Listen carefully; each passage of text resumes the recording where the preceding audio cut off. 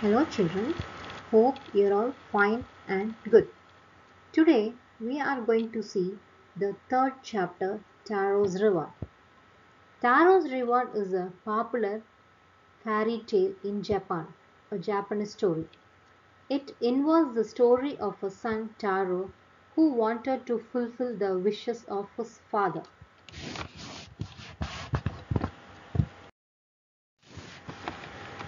Taro was a poor boy. He earned money by chopping woods from the jungle. But the money he earned was not sufficient for him and his parents. One day it started blowing cold winds. All people in the home felt cold due to wind passing from the cracks of the wooden house. His father wished if he could have some sake to energize his heart. Sake is a popular and costly drink of Japan. Taro was sad as he did not have money to buy the expensive sake.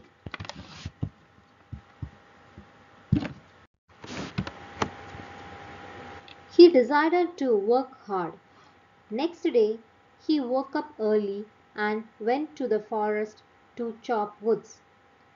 Suddenly he heard the sound of falling water. It confused him as there was no river here earlier. Since he was also thirsty, he followed the sound of water.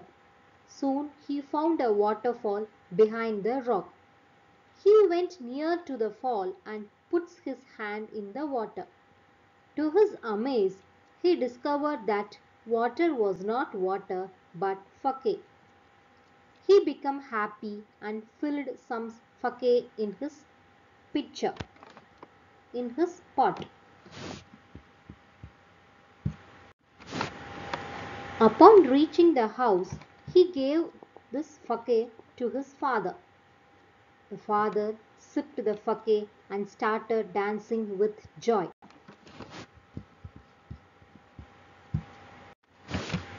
A neighbor came in the evening. Father offered her a cup of sake.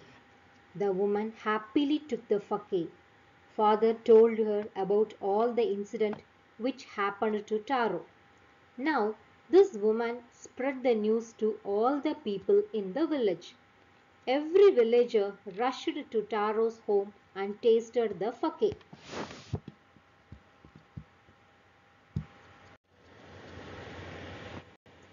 Next morning, Taro again woke up early, searched the biggest pot and went to the waterfall. To his surprise, he found that other villages were also going to the fall.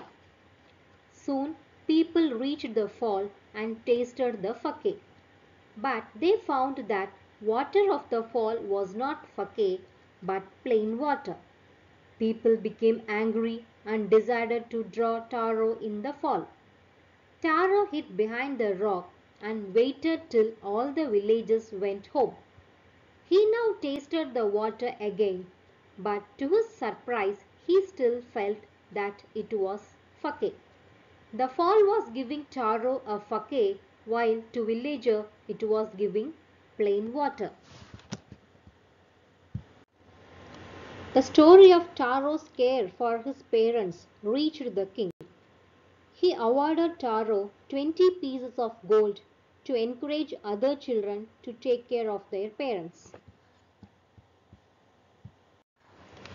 Moral We should take care of our parents and elders.